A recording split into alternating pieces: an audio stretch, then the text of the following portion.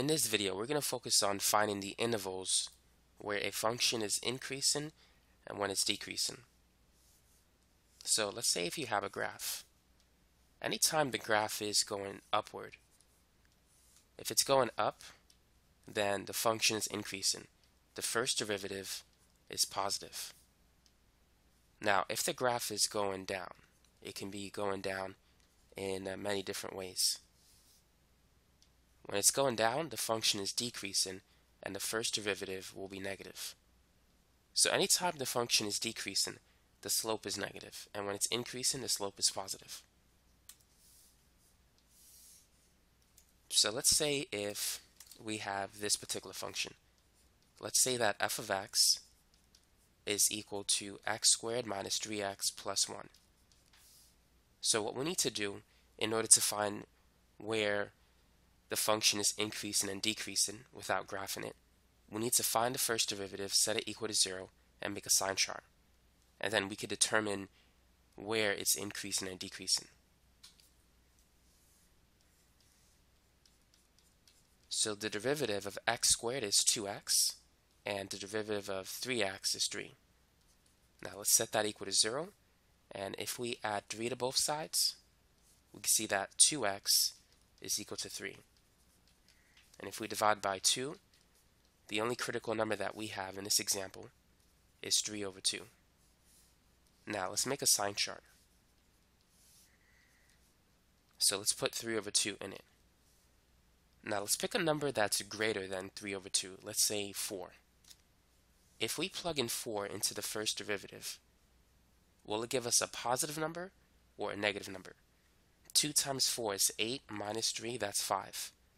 So that's positive. So the first derivative is positive when x is greater than 3 over 2. But now what about when x is less than 3 over 2? Let's say if x is 0. 2 times 0 minus 3 is negative 3. So when it's less than 3 over 2, the first derivative is negative. So with this information, how can we write the interval where the function is increasing and when it's decreasing? Now all the way to the right we have positive infinity and to the left we have negative infinity. So we could say that the function is increasing between 3 over 2 and infinity.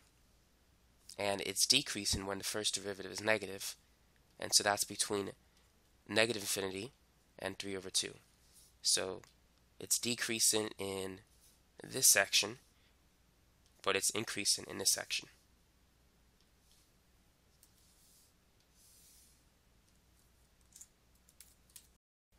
Let's work on another example. So let's say that f of x is equal to x cubed minus 9x squared plus 24x. So go ahead and find the intervals where the function is increasing and when it's decreasing. If you want, take a minute, pause the video, and go ahead and try this example. Give it a shot. So let's start by finding the first derivative of the function. The derivative of x cubed is 3x squared, and the derivative of x squared is 2x, and the derivative of x is 1. So we have 3x squared minus 18x plus 24, and we can set that equal to 0. So let's begin by factoring out the GCF, which is 3. 3x squared divided by 3 is x squared, negative 18x divided by 3 is negative 6x, 24 divided by 3 is 8. So now we need to factor this particular trinomial. So what two numbers multiply to 8 but add to the middle coefficient, negative 6? 4 times 2 is 8, but negative 4 plus negative 2 adds up to negative 6 and still multiplies to positive 8. So it's going to be x minus 4 times x minus 2. So if we set each factor equal to 0, this will give us two critical numbers. The first one is at x equals 4, and the second one is at x equals 2. So now let's make a sign chart.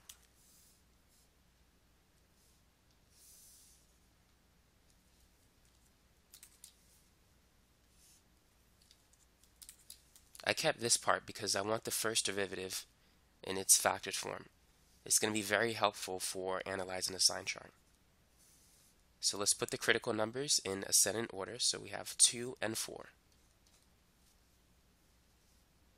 Now the multiplicity of each critical number is odd. That means the signs will change across each critical number. So if we find the first sign, we can easily find the rest. So let's start with a number that's greater than 4. Let's try 5. So 5 minus 4 is positive. 5 minus 2 is positive. If you multiply two positive numbers, it will give you a positive number. So the others should be negative and positive. They're going to alternate. So if we try 3, 3 minus 4 is negative. 3 minus 2 is positive. A negative times a positive will give us a negative result. Let's say if we try something less than 2, like 0. 0 minus 4 is negative, 0 minus 2 is negative. A negative times a negative is equal to a positive number. So now at this point, we can determine the intervals where the function is increasing and decreasing. Don't forget to include your infinity symbols in the number line. So the function is decreasing where it's the first derivative is negative, and the function is increasing where the first derivative is positive. So it's decreasing between 2 and 4, but it's increasing between 4 and infinity and negative infinity and 2. So let's write the final answer. The function is increasing from negative infinity to 2 union 4 to infinity. And it's decreasing only between 2 and 4. And so that's it. That's how you can find out whether or not a function is increasing or decreasing. Here's another problem that you can work on. This time we're going to have an absolute value function. So determine where the function is increasing and decreasing. Write the intervals for it.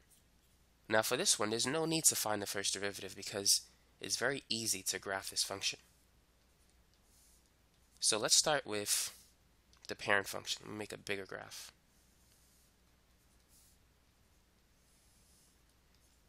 So if we were to graph the absolute value of x, it would look like this.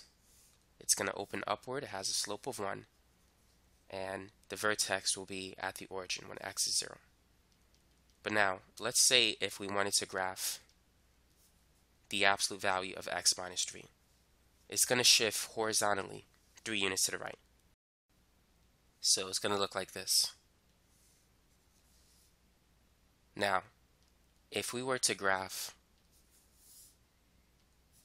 our original function, it's still going to shift 3 units to the right, so it's going to be somewhere over here. But because of the negative sign, it's going to open downward instead of upward, but with a slope of 2. So it's going to be more narrow, so to speak. So with this information, we can tell where it's increasing and when it's decreasing. It's increasing when the function is going up as you view it from left to right. And it's decreasing when the function is going down. So it's decreasing on the right side, increasing on the left side. So if we were to make a number line, it changes at 3 when x is 3. So to the right of 3, the function is decreasing, which means the first derivative is negative. Because as you can see, the slope is negative on the right side. On the left side, the function is increasing, so the slope is positive. So it's increasing on the left of 3 and decreasing on the right. So now to write the final answer, the function is increasing from negative infinity to 3. And these represent x values. And it's decreasing from 3 to positive infinity. And so that's it. So to identify this point, all you need to do is take the inside, x minus 3, and set it equal to 0. When you do that, that's how you can get x equals 3. So for example, let's say if I have this particular uh, function, let's say 2x minus 8. Actually, let me use a different one. Let's say uh, 3x plus 4. So to find the vertex, I'm going to set the inside part of the function equal to 0.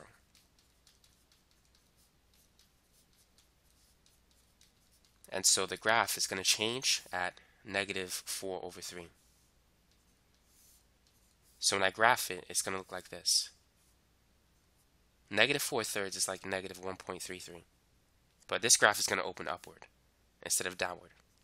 So notice that it's decreasing on the left side and increasing on the right side.